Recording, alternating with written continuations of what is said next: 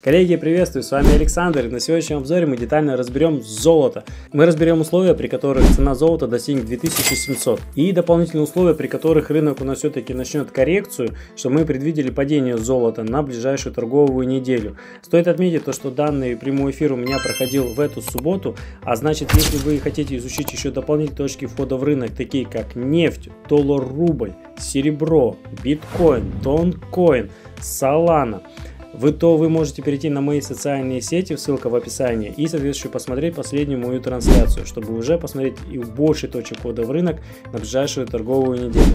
Так что перед началом обязательно подписывайтесь на канал AMarkets, и мы с вами можем начинать. Ну что же, золото у нас обновляет свой очередной хай. О чем хотелось бы поговорить более с месячного таймфрейма, потому что такой анализ не один, не из легких, потому что мы обновляем свои хаи. Обратите внимание, который я построил, а, нашел угол наклона. То есть вот у нас восходящий импульс. Вот у нас рынок бился по поддержке. И вот у нас сейчас цена дошла четко по тени предыдущего максимума сентября 2011 года. То есть, когда цена у нас вот тоже подошла. И сейчас золото находится вот на вот этом пике. А рынок еще не корректировался. Вполне скоро будет ожидаться такой э, сброс коррекции, то есть мы о нем поговорим, а, потому что мы находимся на месячном вот моменте, да, то, что рынок у нас скоро уже будет закрывать месячную свечу. И если цена у нас все-таки сможет и прорвать вот эту линию сопротивления, окажется снаружи, то там золото еще у нас там дальше будет расти. Вот, но на данном этапе, я думаю, рынку все равно нужно зафиксировать вот эту прибыль, которая у нас уже длится хороший такой период времени. Вот у нас движение прям хорошее, такое импульсное, не говоря уже о начальных этапах. Так что коррекцию как никакую рынок должен тоже учитывать. Вот, э, я что еще подготовил заранее? То есть, э, я разработал э, закономерность на графике, нашел скрытые уровни, например, по золотому сечению Фибоначчи, при определении которых можно определять новые исторические хаи. То есть, как мы это делали в течение двух недель с моими учениками на закрытых каналах, закрытых торговых условиях, где определяли новые хаи на золоте. Вот. И здесь сейчас а, до эфира я подготовил интересные условия. В случае, если у нас все-таки а, рынок будет обновлять новые максимумы, стоит учитывать важный момент, то, что мы находимся на линии сопротивления месячного таймфрейма. То есть вот заведомо уже понимая то, что сейчас мы прям находимся на моменте, когда рынок думает, да, как себя повести, то на маленький таймфрейм часовых с очень такой осторожностью стоит учитывать следующий момент. Если у нас прорывается 26.85, тело свечи закрывается за ним то следующая цель это у нас 27-38. Но перед этим вполне рынок может использовать как уровень коррекции мощный 27-15. Коррекция вполне может попробовать потестировать как ретест 26-85, предыдущий наш максимум. А там и 27, уже 38 оттолкнувшись. Но может и коррекция более быть глубокой. Так что это вот следующие торговые условия для золота на ближайшее время. Теперь, чтобы нам понять, э, какие интересные закономерности существуют, уже появляются для коррекции, здесь у нас в понедельник ждет следующий момент. То, что у нас вот тут пробилась поддержка. Вот хорошая поддержка такая была рынка. Рынок его прорвал. Хорошие такие звоночки на медвежьи условия. Мы знаем, конечно, случаи, когда цена у нас просто игнорирует все факторы. Какие-то новости произойдут в мире а, которые повлияют еще больше спрос на золото, а, и рынок начнет укреплять свои позиции. Но на данном этапе с технической стороны видим то, что у нас обновляются минимумы. Вот у нас минимумы идут на понижение. Максимумы тоже у нас идут на понижение. На часовом тайфрейме видно у нас формируется вот такой вот коридорчик нисходящий. Сейчас мы о нем более подробно поговорим. Э, перед этим изучать, изучая 4-часовой таймфрейм. Вот, э, куда стоит ждать в ближайшее время у нас то, что рынок будет целиться, куда он будет планировать у нас упасть. Я бы взял бы первое, то, что у нас есть от минимума 11 сентября по минимум который у нас был 19 сентября. То есть я вижу то, что рынок у нас использовал данную поддержку, которую ну, отскакивал от нее. Скопировав ее, мы поставим на линию поддержки сопротивления уже на верхнюю границу.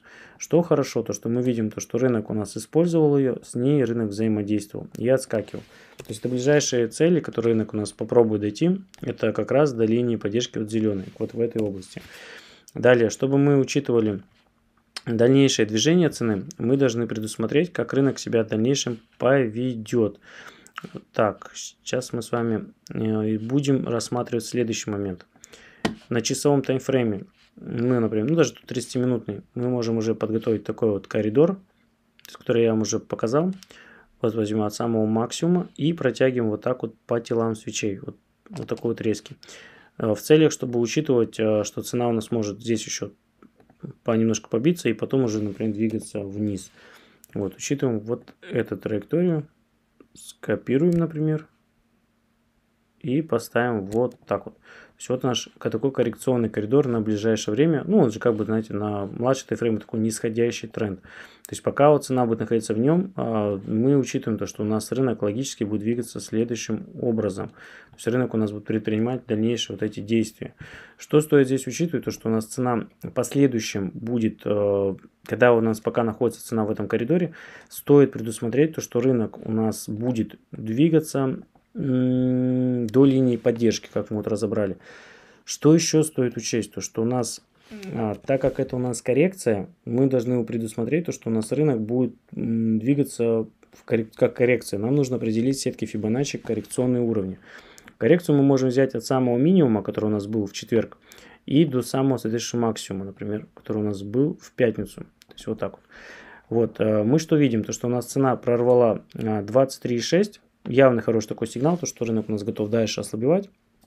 Вот, э, и какие цели он будет сейчас преследовать? Первое, то, что э, целью рынка, я считаю, то, что будет у нас 38,2. Вот, э, так как порвали хороший ценовой уровень 23,6, он же еще являлся сильным ценовым уровнем, когда рынок у нас технически его показывал, не мог его преодолеть, и вот он его прорвал. То есть хорошее условие, то, что рынок у нас дальше захочет упасть. Есть такое похожее формирование на а, голову и плечи, то есть вот на примере. Она такая спорная, но какую-то часть игроков вполне может привлечь. Например, левое плечо, вот она шея, вот она голова, вот у нас здесь рынок что-то вот тут отрывался, какое-то вот здесь вот плечо, вот что-то вот вполне может быть, не идеальное, подчеркиваю, но само, сама идея, то, что, о, смотрите, голова и плечи надо продавать, то есть она вполне будет обоснована. Плюс вот эти аргументы, которые я рассказал ранее. Вот, в случае, если у нас а, цена дальше, например, там пойдет, например, вниз, да, например, и тут уже, конечно, нужно снова вернуться на 4 часа, чтобы наше а, вот это условие было подольше, мы его могли рассмотреть а, на, до конца недели хотя бы, то есть хотя бы до нон-фарма.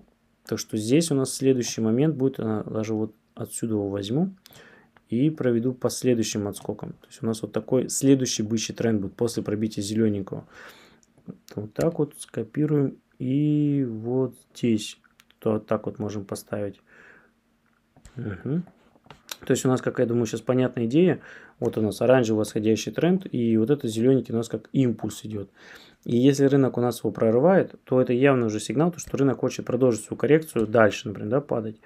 Там, несомненно, э, что-то в области 50 Фибоначчи нужно учитывать, прорывы. Где-то вот здесь, то есть у нас 26-16. И там рынок попробует потестировать уровень 61,8. То есть так вот лесенкой будет вполне спускаться. То есть если у нас такие прорывы увидим, 38,2, 50, то вот что-то вот так-то рынок у нас будет снижаться, да, например. Угол наклона, вот, который мы нашли красненький, да, он может, несомненно, поменяться. Мы это увидим уже э, на следующей неделе. Вот, э, как золото себя проявит уже. Э, по этому же сценарию пойдет или нет. То есть мы это, думаю, еще предвидим. Вот, в случае, если рынок у нас дальше прям агрессивно будет продавать, то я думаю, следующий, где цели стоит уже готовиться к фиксации, это уже в области 786 Фибоначчи 25.76. Что цена у нас уже здесь, вот подойдет к линии поддержки, а, у нас оранжевый, и там, соответственно, стоит ждать уже какой-то разворот. То есть, несомненно, то, что когда дойдет, стоит ждать уже движения вверх. Вот, э, в случае, если цена у нас и оранжевую линию пробьет, но это уже где-то нужно на дневном таймфрейме, что произошло такое движение, то там уже у нас линия поддержки будет выглядеть следующая. То есть у нас а закономерности на рынке заключается в том, то, что у нас прорывая каждую линию поддержки, на, например, на более младшем, мы ищем ее на более старшем таймфрейме, чтобы понимать в следующем, в каком моменте рынок у нас будет двигаться. И вот следующая у нас линия такая будет уже вот тут находиться. Мы ее вот так вот построим. Вот такой вот у нас восходящий тренд. И уже в этом случае у нас цена уже дальше будет падать. Но этот момент, э, я считаю, у нас будет более актуален, когда уже цена у нас прорвет э, оранжевый коридор. Попробуем в течение недели обсудить этот вариант э, в моем телеграм-канале. Где-то я даю дополнительные торговые идеи. Ссылка в описании можете посмотреть, посмотреть, перейти туда. И уже, уже там мы, соответственно, может на какие-то на золото дополнительный угол наклона и определим. Может быть, торговую идею дополнительно сделаю. Вот. В принципе, золото вот так, так вот вижу. Если, к примеру, на покупке, да, например, то здесь э, нужно посмотреть э, реакцию рынка, когда она прорвет уровень 26.63, э, даже 26.64. Потому что вот ранее, видите, цена у нас когда снизу вверх шла, здесь что-то попробовать, понаходить. Это, ну, это нужно, чтобы еще рынок пробил как минимум вот эту красную линию сопротивления, вот, вот этот угол наклона. Но даже с запасом взять вот так вот по теням вот такой вот угол наклона пробивается, тогда, да, еще вполне стоит учитывать уже укрепление позиции, то, что золото снова захочет обновлять хаи, то, что в бычьем тренде находится, что будет это обосновано. Так, ну что же, в принципе, вот золото поговорили. На ближайшее время, если резюмирую, я считаю, то, что будет какое-то какое-то коррекционное движение в рамках э, бычьей тренда, который мы сейчас определили на небольших таймфреймах, например, на часовых. Вот, э, выйдя из коррекционного коридора, уже стоит ждать э, позицию укрепления. Ну и там новые хаи, которые мы только что с вами обсудили.